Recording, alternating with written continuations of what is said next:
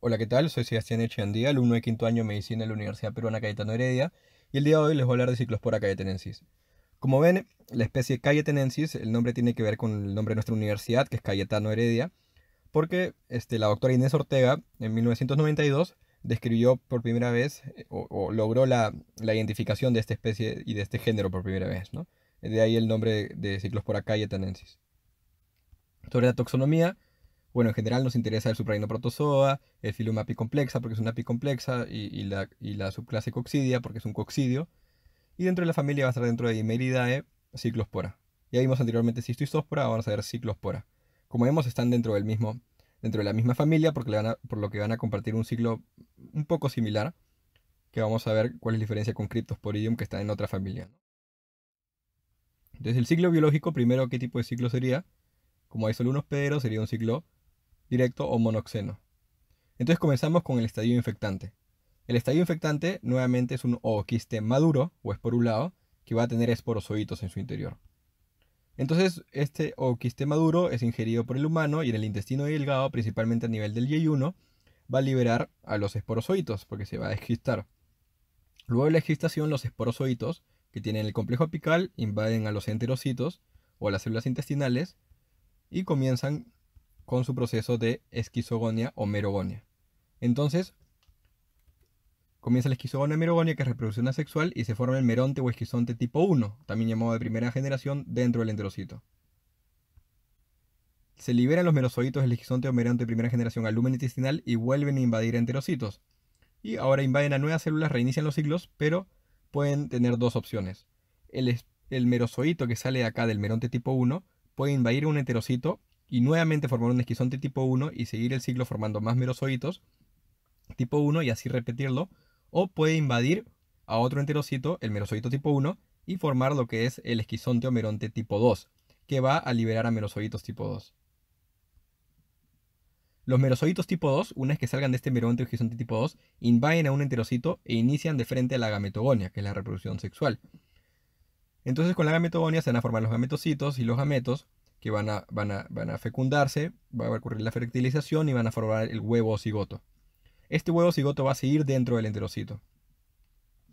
Entonces el cigoto luego va a secretar una pared a su alrededor y va a formar lo que se llama el ooquiste inmaduro, que tiene una pared gruesa y es expulsado en las heces y por lo tanto es el estadio diagnóstico. Entonces, antes de describir esta parte, repasando nomás, porque está bastante simple el ciclo, si es que ya vieron el video de cistisospora, generalidad de coccidios y más aún si es que ya vieron sarcocistis, el humano ingiere el ooquiste maduro, que es infectante, ingresa al Y1 principalmente, se liberan los esporozoitos que invaden al enterocito. Cuando invaden los esporozoitos al enterocito van a formar el esquizonte o meronte de primera generación. Y va a liberar a los merozoitos tipo 1 o de primera generación. Es mejor llamarlos tipo 1 porque estos tipo 1 pueden generar más merozoitos de tipo 1 más que ser una nueva generación. Por lo tanto, estos, este meronte tipo 1 libera merozoitos tipo 1 que pueden tener dos opciones. O invaden otros enterocitos para seguir formando merontes o esquizontes de tipo 1 que siguen liberando merozoitos tipo 1, que siguen invadiendo enterocitos y así sucesivamente aumenta la carga del parásito. O los merozoitos tipo 1 pueden invadir a un enterocito y ya no formar un meronte esquizonte de primera generación, sino un meronte esquizonte de segunda generación. O tipo 2. Este meronte tipo 2 va a liberar a tipo 2 que van a invadir a nuevos enterocitos, pero el merozoito tipo 2 que invade un enterocito inicia de frente la gametogonia, que es la reproducción sexual para formar al huevo cigoto, que va a liberar una pared a su alrededor, va a ser un ooquiste inmaduro, que va a ser liberado en las heces como tal, es decir, no va, no va a madurar en, las, en el intestino del humano. Al igual que cistosóspora, por eso están en la misma familia, porque en, ambos casos liberan ooquistes inmaduros. A diferencia de Cryptosporidium, que si se dan cuenta está en otra familia, porque vamos a ver que los ooquistes liberados en las heces ya son maduros. Entonces, ooquistes inmaduros o no esporulados en las heces es el estadio diagnóstico para ciclospora. Una vez que son liberados al medio ambiente, tiene que ocurrir la esporulación, que es la esporogonia, que es reproducción asexual, y ocurre en el medio ambiente en condiciones ambientales preferidas de más o menos 22 a 32 grados y a una humedad adecuada. Estos tienen que completar su desarrollo de esporulación durante 1 a 2 semanas para poder ser infectantes. ¿Se acuerdan que si en cistosóspora eran 1 a 3 días? En este caso es 1 a 2 semanas para recién poder ser ooquistes maduros. Y pueden contaminar distintas comidas o agua como vamos a ver ahora. Y una vez que sean maduros ya son en estadio infectante que son ingeridos por los humanos. Por tanto, la contaminación directa o fecalismo directo es casi imposible o es imposible en este caso y tampoco va a ocurrir autoinfección porque recién tienen que madurar por una o dos semanas en el ambiente para poder ser infectantes.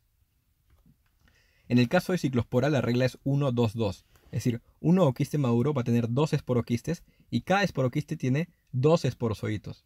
Entonces un ooquiste maduro tiene cuatro esporozoitos. No se confundan con cistoisóspora, que un ooquiste maduro también tenía dos esporoquistes, pero cada esporoquiste tenía cuatro esporozoitos. Entonces la regla era 1-2-4 en cistoisóspora. En ciclospora la regla es 1-2-2. Entonces un ooquiste maduro tiene dos esporoquistes y cada esporoquiste tiene dos esporozoitos. Respecto a la morfología, bueno, tienes el, inmaduro y el maduro, que ya hemos dicho que tiene que madurar en una o dos semanas en el ambiente, y que el maduro tiene dos esporoquistes y cada esporoquiste tiene dos esporozoitos, haciendo un total de cuatro esporozoitos. Por tanto, si es que esto es una muestra fresca en heces, y estamos hablando de ciclospora, se trataría de un ooquiste inmaduro. Y es, bueno, esférico y mide 8 a 10 micras de diámetro. Acuérdense de este valor porque Cryptosporidium también tiene así forma circular. Sin embargo, hemos dicho que es maduro, como vamos a ver en el siguiente video, pero su diámetro es más pequeño, ¿no? De 4 a 5 a la mitad. Nuevamente tiene autofluorescencia, hasta ahorita hemos visto que cistoisóspora y sarcosistis tienen autofluorescencia y ciclospora caetanensis también tiene autofluorescencia, como vemos acá. Otra foto de autofluorescencia, si esta es muestra fresca en heces, sería un nuevo inmaduro. También se tiene con la tinción de Sil-Nielsen modificada. En ambos casos vemos el quiste de 5 a 10 micras, un nuevo quiste inmaduro de ciclospora caetanensis. Acá, como vemos, dijimos que tenía una pared gruesa, por tanto, algunos ooquistes inmaduros de ciclospora se pueden teñir y otros no, y se ven así blancos. En esta imagen también como lo describen, en el caso de la tinción de, Kim Jong, que también es ácido alcohol, igual que la Sil Nielsen modificada, unos casos se pueden teñir y otros casos no se pueden teñir de los ooquistes inmaduros de ciclospora cayetanensis. Respecto a la epidemiología, brevemente, la distribución es cosmopolita, pero más frecuente en regiones tropicales y subtropicales, porque como recuerdan, el ooquiste inmaduro necesitaba condiciones adecuadas de 22 a 36 grados más o menos para poder madurar en una a dos semanas. Es una causa frecuente de diarrea del viajero, eso ténganlo en cuenta. Y en el Perú la prevalencia se asocia a periodos de lluvia, un pico en abril, julio, junio, justamente por esas temperaturas adecuadas, y puede causar enfermedad tanto en inmunocompetentes como en inmunodeprimidos.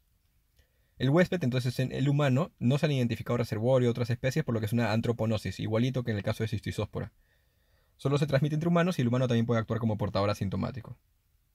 El hábitat, como es un apicomplex, es un intracelular obligado y hemos dicho principalmente los enterocitos del J1.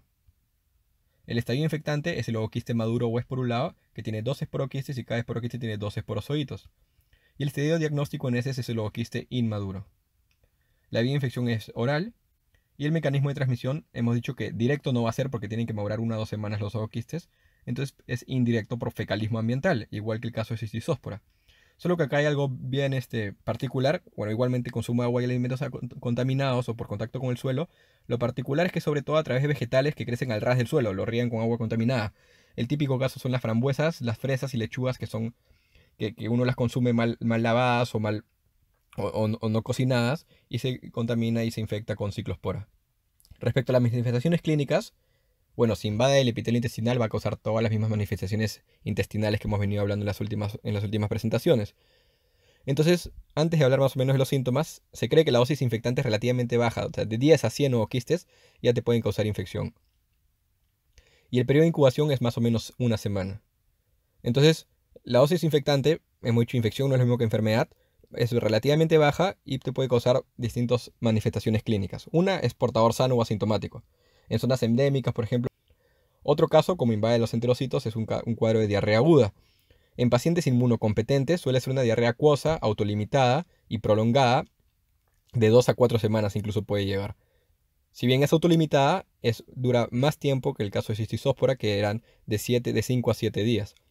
Además, también puede causar dolor abdominal, pérdida de peso, meteorismo, fiebre leve.